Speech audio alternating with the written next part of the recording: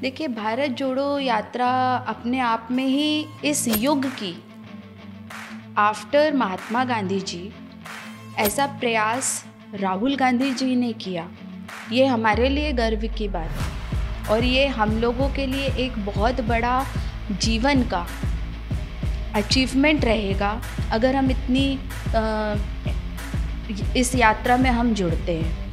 क्योंकि पुराना इतिहास जो कांग्रेस का रहा है, उसमें कई पदयात्राएँ हुई हैं। लेकिन राहुल गांधी जी के नेतृत्व में जो पदयात्रा हो रही है, वो उस ज़माने में जो पदयात्रा हुई थी, उससे कहीं ना कहीं उस यात्रा के कंटिन्यूशन में नए युग को आगे लेके जाने की यात्रा रही।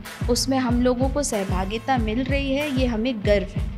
आज युवा, हम भी यूथ हैं और हम भी बहुत समय से युवाओं के साथ जुड़ते हुए आ रहे हैं। जो इम्पैक्ट भारत जोड़ो यात्रा का यूथ पे पड़ रहा है, वो किसी भी नेता, जो देश में जो भी नेता अपने आप को नेता बोल रहे हैं, उनसे उतनी जनता नहीं जुड़ पाएगी, उतना यूथ नहीं जुड़ पाएगा, जो भारत जोड़ो यात्रा की वजह से राहुल गांधी जी तक जुड़ रहा है।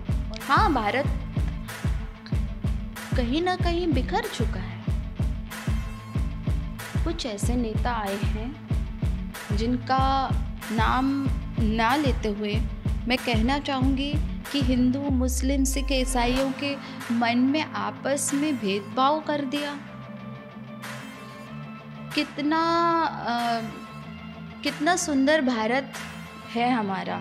विभिन्न भाषाएँ हैं विभिन्न देश विभिन्न वेशभूषा धारण करते हैं और हमारे कितने सारे त्यौहार हैं, सब एक आपस में एक दूसरे से मिलते हैं। लेकिन ये किसी नेगेटिव राजनेता की वजह से, नकारात्मक सोच की वजह से हमारा भारत बिखर गया था। तो आज राहुल गांधी जी ने इसका बीड़ा उठाया है कि वो उस टूटे हुए, बिखरे हुए भारत को फिर से जोड़ेंगे और उनकी मन में क्या संवेदनाएँ पल रही हैं, उसको जानने के लिए राहुल गांधी जी सड़क पे चल रहे हैं पद यात्रा कर रहे हैं।